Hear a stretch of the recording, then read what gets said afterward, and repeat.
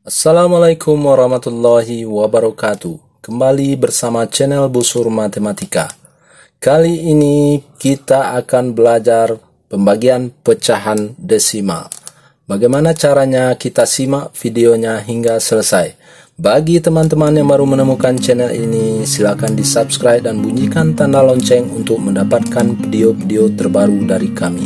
Semoga bermanfaat. Kita langsung ke contoh soal. Soal nomor satu kita perhatikan 6,8 dibagi 4. Perhatikan angka 4. Angka 4 sudah bilangan bulat, maka kita langsung bisa membagi. Pembagiannya dengan cara porogapit.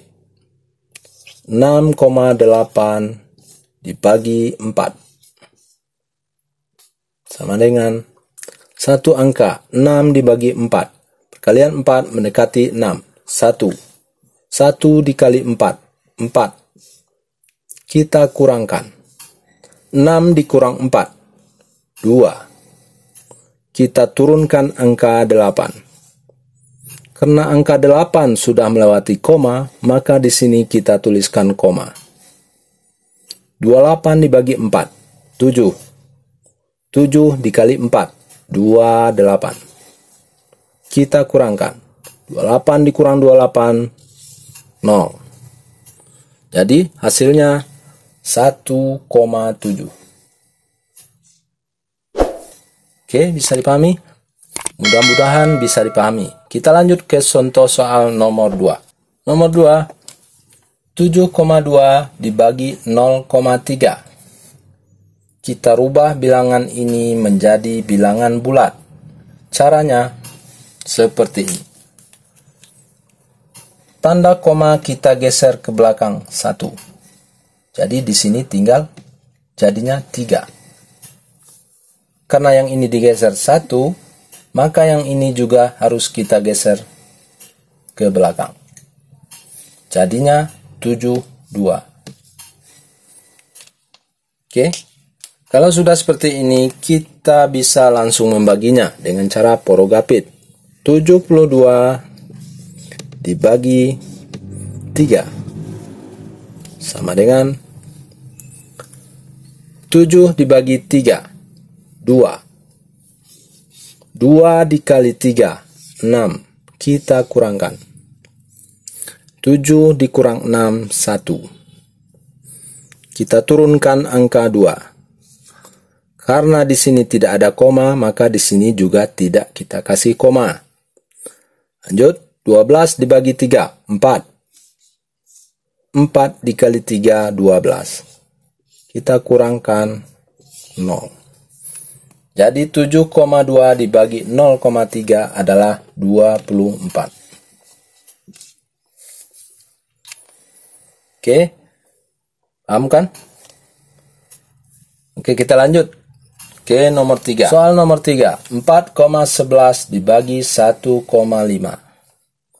Caranya kita rubah menjadi bilangan bulat. Cara seperti tadi. Koma yang ini kita geser ke belakang satu angka.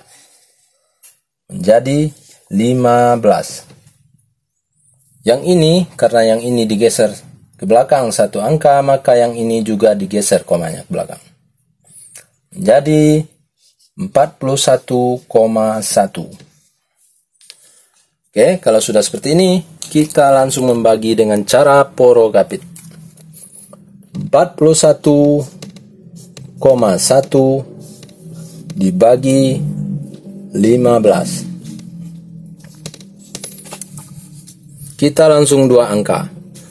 41 dibagi 15 adalah 2. 2 dikali 15, 30.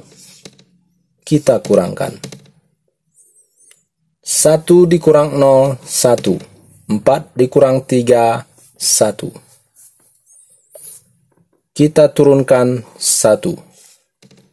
115. Karena 1 melewati koma, maka di sini kita beri koma. Oke. Yud 111 dibagi 15. 7 7 dikali 15 105. Kita kurangkan. 1 dikurang 5 tidak bisa kita pinjam sebelah menjadi 11. 11 dikurang 5, 6. Yang ini karena sudah dipinjam menjadi 0. 0 kurang 0, 0. 1 dikurang 1, 0. Tidak kita tuliskan. Oke, langkah selanjutnya. 6 dibagi 15 tidak bisa. Kita tambahkan 0. Karena di sini sudah ada koma, maka di sini tidak perlu kita kasih koma lagi. Oke, 60 dibagi 15, 4. 4 dikali 15, 60. Dikurang. 60 dikurang 60, 0. Oke, jadi 4,11 dibagi 1,5 adalah 2,74. Oke, bisa dipahami? Nah, mudah-mudahan bisa dipahami dengan baik. Sampai jumpa di video-video kami berikutnya. Terima kasih. Assalamualaikum warahmatullahi wabarakatuh.